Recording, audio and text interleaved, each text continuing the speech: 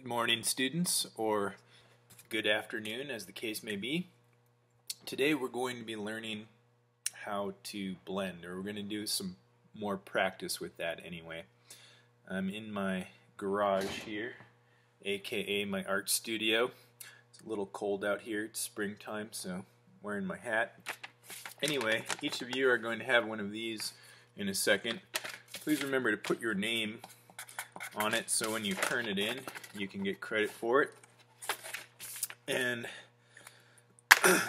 there's sort of a little gradient here I've purposely printed that lightly as just a guide for you to follow but the idea here is we're going to try to blend from one color to the next as smoothly as possible. A gradient is a smooth gradual transition from one thing to the next, in this case from one color to the next.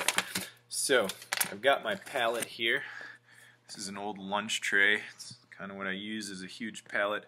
Never wash it off as you can see. Don't forget that a palette, little vocab hint, is also a range of colors or a range of flavors or a range of anything. There's more than one definition there. So this painting here that I'm working on is a self-portrait. It's kind of like a me painting me, painting me sort of thing.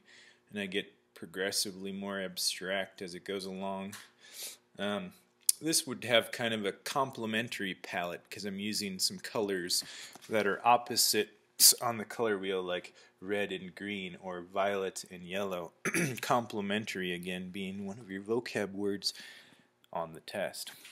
Okay, so we are going to do a little blending practice. I'm going to aim the camera down here so hopefully you can sort of see what's going on here and I'm going to pick up a little bit of red. Um, before I get started though I should say another tip is I never paint without having a little piece of scrap paper near me.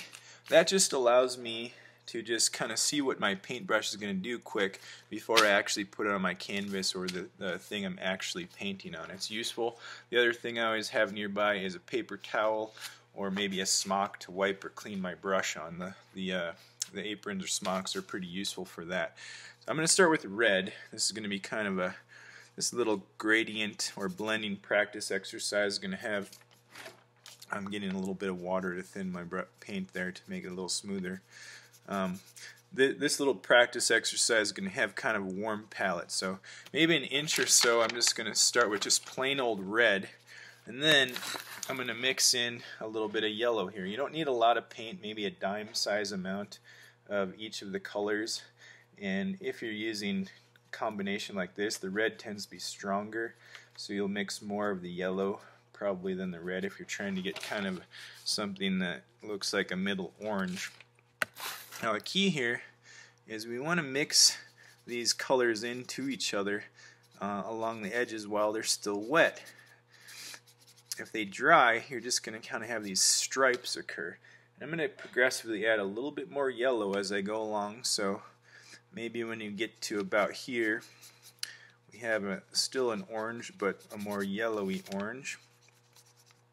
And then some more yellow still. And sometimes I might even just put the yellow right onto my little blending sample here um, because we're getting closer to the yellow side and I can push this a little further. Right now I feel like I have a little too much orange on my brush so I'm to go ahead and rinse it off. Often I will just do that instead of picking up another brush and then I don't want it to be too wet and soupy but also not too dry so paper toweling off a little bit can kind of get the right consistency.